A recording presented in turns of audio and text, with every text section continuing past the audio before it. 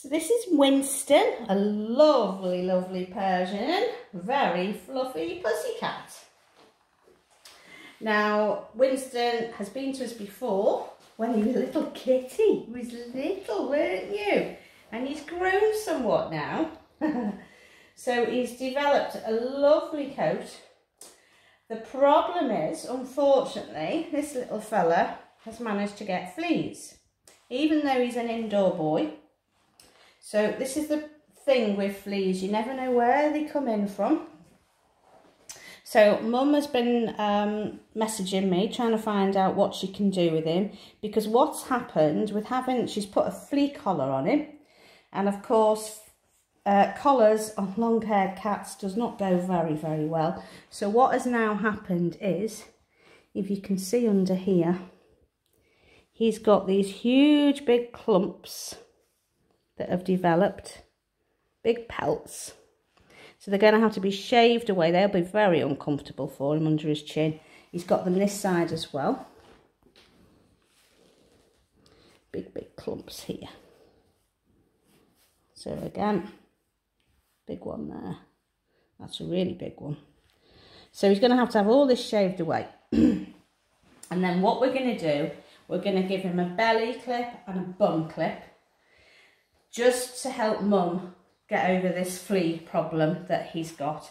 Now, while he's been here, we've managed to find one live one on him, um, which we've managed to catch, and there was a dead one on him actually, which I've removed as well.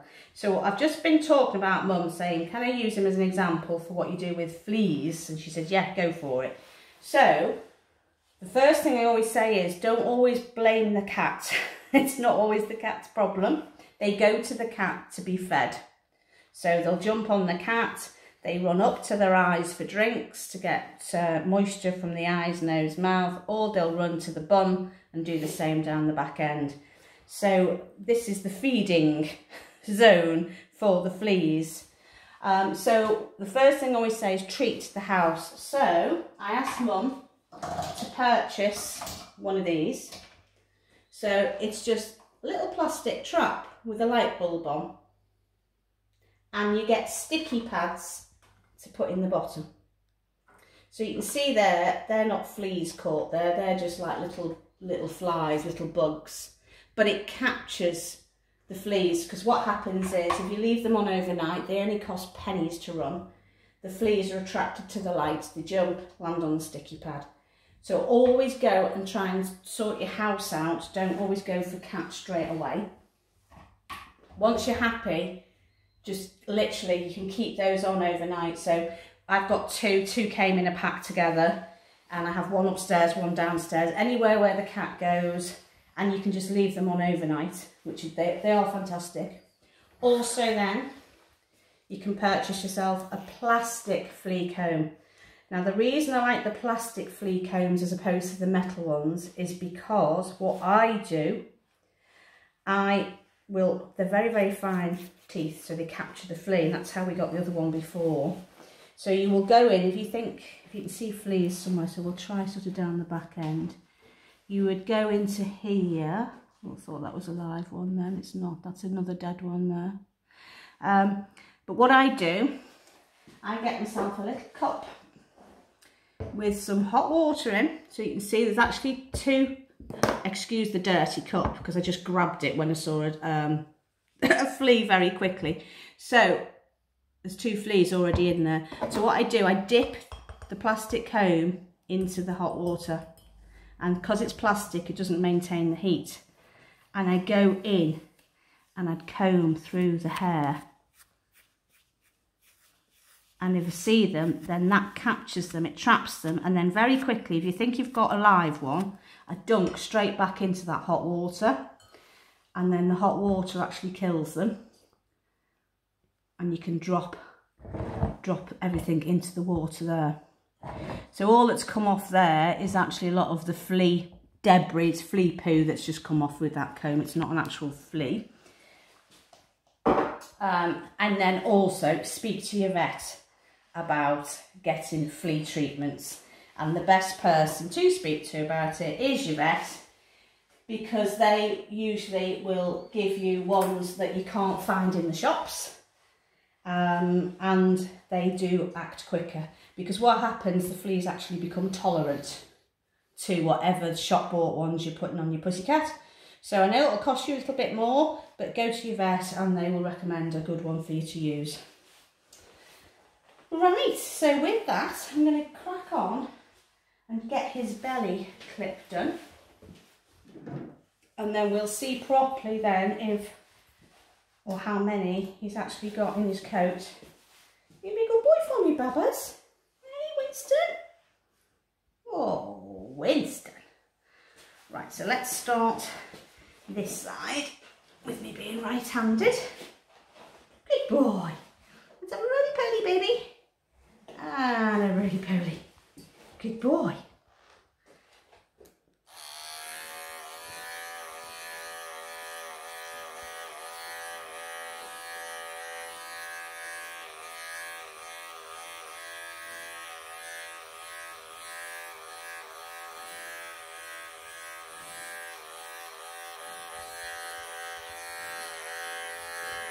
Oh, what a good boy. So you can see all the flea debris on him. So he has had fleas, but he may well be on the ends of them, which Mum will be pleased. We'll see once we get a little bit more of this clipping away. So the reason I'm clipping under here is because obviously the fleas love warmth. So, right, baby. Okay, Papa. Good boy. So they will go anywhere they can. So like these rolls of fur here. All right, baby, let me just show everybody these rolls. Hey, can we show everybody these rolls? So in between his legs, he's got these clumps of fur where, where we need mum to try and keep brushing because they've developed. So he's got them. I always call them sausage rolls. And this one here, you can see that one a bit more clearly. So that's a pelt. And the fleas love those because they're like a little nest. So we're going to try and get those off him.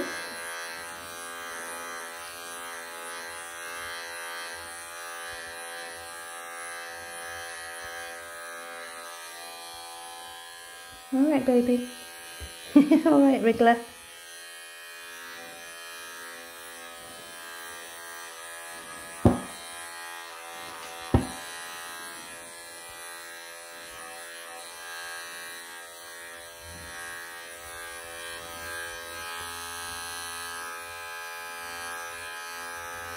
So see a couple of dead fleas, nothing running.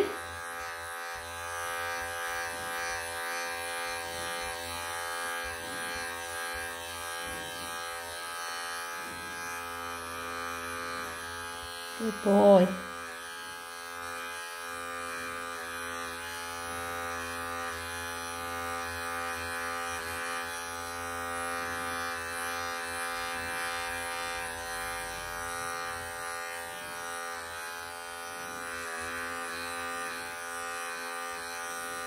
What a good boy, Winston. That's come off nicely. Nothing live which is good.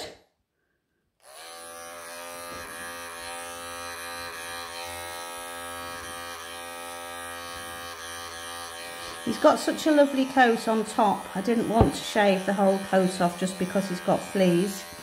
Um, and I'm glad we made that decision now. Right, here, we've got a live one. So, let's just see if I can... Uh, get me going quickly live on camera. Can we make it?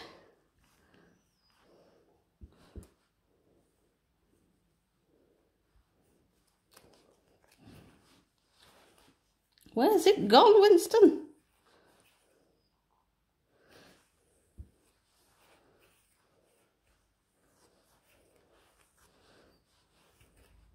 They just bury themselves. So that was only a little one.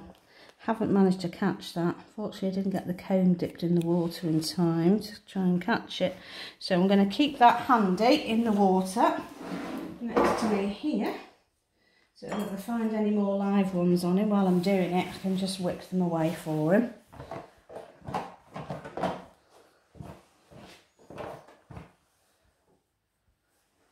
Right, babies. Good boy. Should we go this way? A little roly penny that way? Good boy. Come that way. Good lad. And to me. Good boy. She's got a few knots up here as well, haven't you, baby? Before I go any further. So this is like the back of the legs.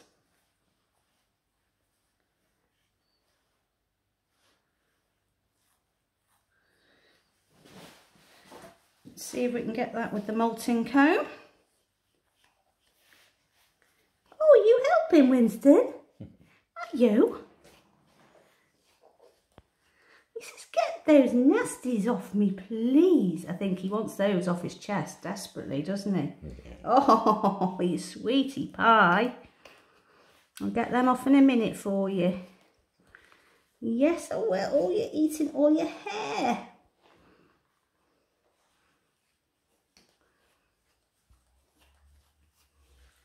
So they've come away just with the comb there. It's a case of getting in at the back, teasing them open with your fingers. You good boy? Oh, stop eating that. I'm going to get those off for you. So there's a really tight one here. There's no way that will come out with the comb. I'm just going to shave that one off for him.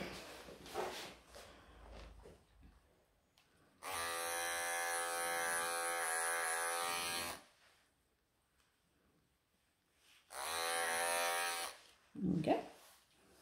Go on, Winston. And you won't know it's even been removed, will you? Eh? That lovely coat? Good boy.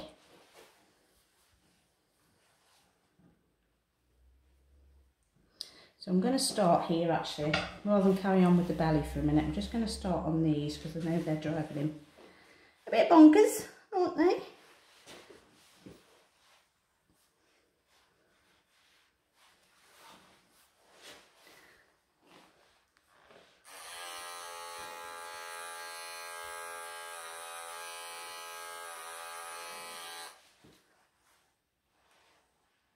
Okay, we've got a live one. Where's it gone, Stephen? There it is. So I've just dipped that comb in the hot water. I've managed to catch that flake. Lovely. It's gone straight in the cup. It's actually quite satisfying. Hmm. it's actually quite satisfying, Winston, catching those fleas. It is. Right, let's try again. So they're up around the head because obviously they've come up for drink. Good boy. Right, these are very tight. Aren't they?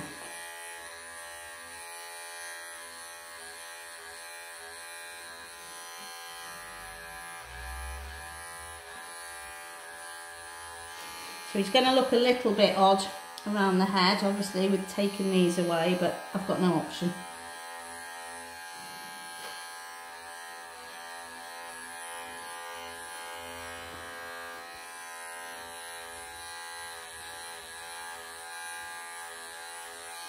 Good boy.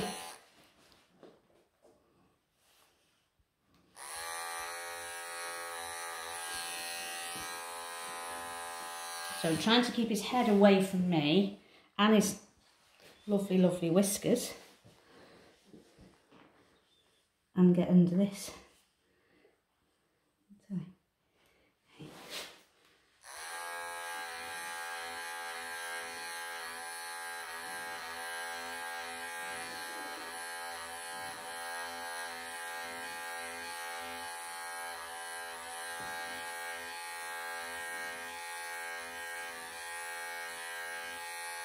Okay, babies. Let me see.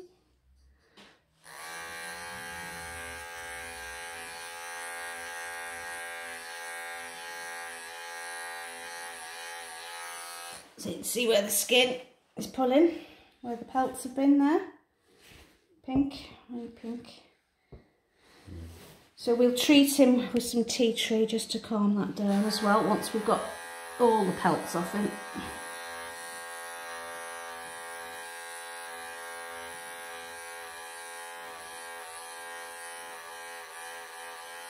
Good boy. Oh, that feels better. So that was tight, very tight. So that's what a pelt is. All right, Winston. Very matted, very tight. That's what a pelt's because it looks like hair on the top. But it's like, I call it like a Brillo pad here that we have in the UK. Can't move it at all. So that's one big one gone. I bet that feels nice, doesn't it now? Oh, yes.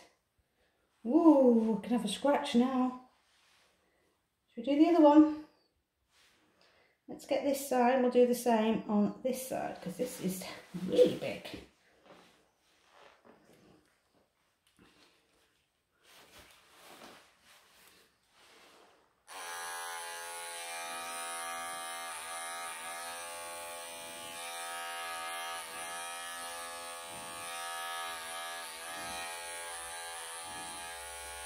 Okay, baby. Let me come that side.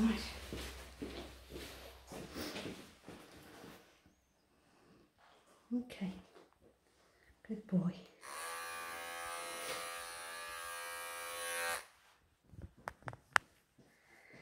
So here we are, right on the ends of uh, finishing Winston's groom. So he has had the full belly off all around his bum and we've had to take all the full bib off the front of him here um, just because he was so pelted around this area. So he's, we, we've had to shape his face in and trim all here. So I'll just show you his tummy as well. So on the tummy oh he's going to do a roly-poly for me. He's, he's wet because I've sprayed him with some tea tree so oh he says I don't want to show everybody my tummy thank you so I'm just going to give him a little wipe in a minute because this is still flea poo here. So I'm going to give him a wipe over with a little wipe, clean him up, and he's basically ready to go. Aren't you the gorgeous Winston? Hey. And then he can go back home to mummy. And hopefully we've conquered these fleas. I've literally found four on him and we've caught the four. So um, he was nowhere near as bad as what mum thought he was. You good boy, aren't you?